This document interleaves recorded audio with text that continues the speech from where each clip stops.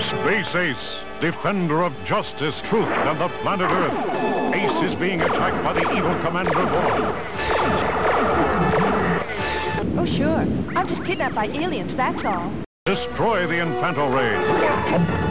Defeat the evil Borf. Be valiant, Space Warrior. The fate of Earth is in your hands.